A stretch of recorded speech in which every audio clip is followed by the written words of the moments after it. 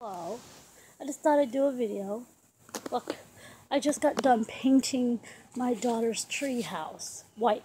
So like as you can tell, first time ever painting. I am so I don't think I've ever been this white. Can you see that? Can you see that? I don't know if you can. Pants.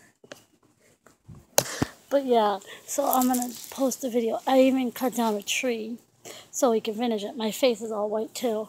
I'm filthy. I need a shower. It's hot out. Hair's in a sassy bun. Um, so I'll call you back uh, later. Bye.